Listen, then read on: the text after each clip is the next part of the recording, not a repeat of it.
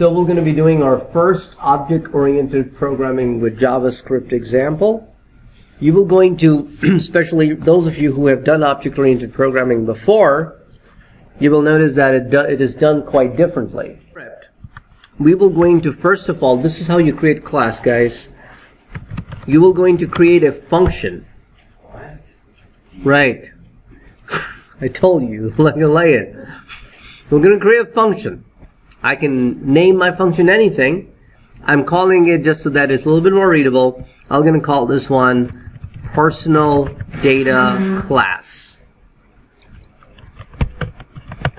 So this function will actually be my constructor as well as my class name. So if I want to initialize the objects, this is where I will going to pass them. So I'll say I want an object property for name. I need a value for address. I need a value for work. And I need a value for home. So those are my four parameters. Name, address, work, home. Those are the parameters that I'm passing inside my constructor. Now inside the body of the constructor, I'll say this dot name equals to name.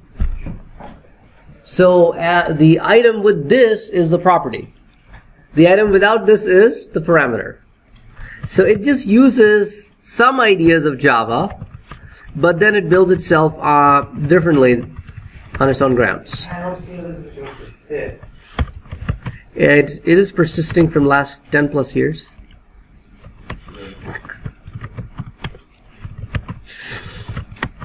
Again, it's a scripting language. It's not a programming language. So this is how you can have the parameters assigned to class properties. So, what is the name of the class? Personal data class. Okay. So inside or outside my function, if I want to create an object, I can say I want to create a personal object equals to new personal data class and I can literally pass four values.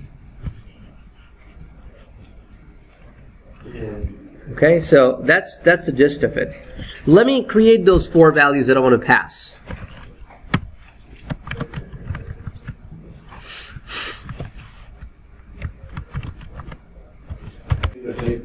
Don't call the second one, it will gonna dial Canada. Good morning! Hey, No, I'm not telling you. There's somebody in the middle. You always get where he lives off the off the platform. It's a good time. He's having object-oriented programming dreams.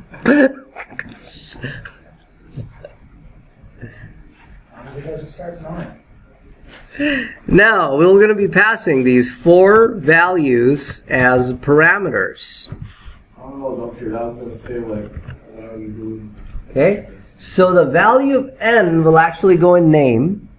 The value of a will go in address. The value of w will go in work. The value of h will go in home. And then after these parameters receive these four values, they will assign it to the class properties. Okay? So, what you can do is, you can actually have a property of the class tied to a method. Okay? So, um, let me call, instead of calling PCL, I'm going to call it uh, disp. Now notice, disp is not a parameter. There's no parameter called disp. Rather, I will going to create a function called disp. Well, Because is the weirdest looking. So, when you assign a class property to something which is not a parameter or a variable, it better be a function. So what this dot disp does, it holds a reference of this function disp. What is the benefit of that? Now disp, disp can see all these class properties now. Because disp is part of the class. So inside the body of disp, I can literally refer to all these class properties and their values we're going to show. So let me build, So you can just reference a function without needing any other special like, and then it just works. just works. Just words. Just what, whoever made this, oh, I'm Must be a genius, I know.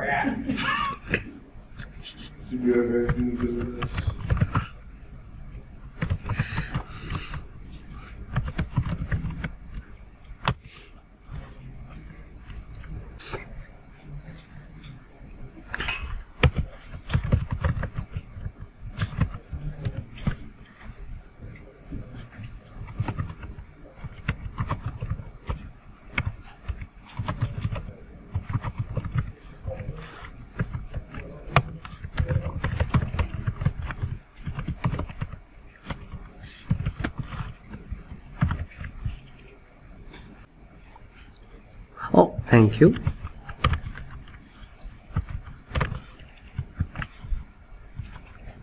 So we create a disp function in which we have four line variables, line one, two, three, four. Each of the line variables is tapping into one of the properties of the class, displaying it alongside some HTML elements, and then we are displaying those lines in a single document.write document.object. Personal object, because nobody's calling disp yet. Dot. Disp.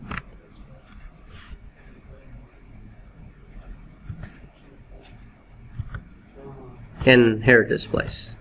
so after you create the function which is tied to the class, the function is tied to the class so that it can pop in the property, it can look into the properties of the class, and right outside you create an object by calling the constructor of the class, and then you can use that object to call any methods that the object is tied to.